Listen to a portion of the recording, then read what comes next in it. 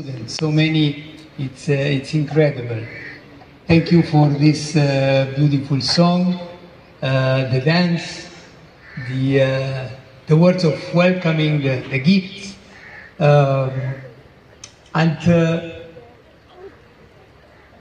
we, you are here, or we are here because uh, somebody, somebody, not just one person, but uh, beside our parents, many others help us uh, to, uh, to be able to study, to be able to go through education, to an education, to be able to give us hope um, in the future, to, to really have uh, a hopeful, brighter, uh, bright future. And um this is for one part that we always need to be thankful for so many people that uh, make are making this possible, this education possible.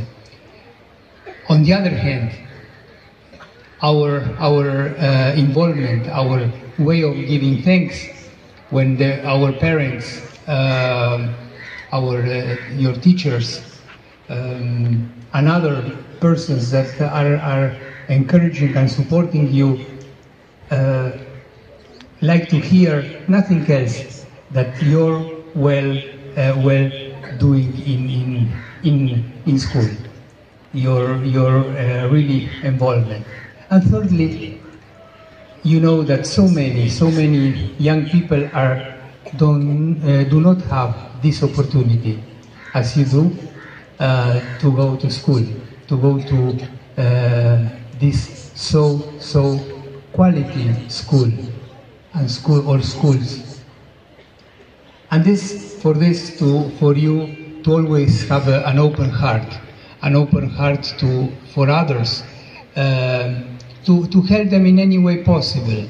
When you see persons in need to be to be open to them to, to give to give them what what you can what you can.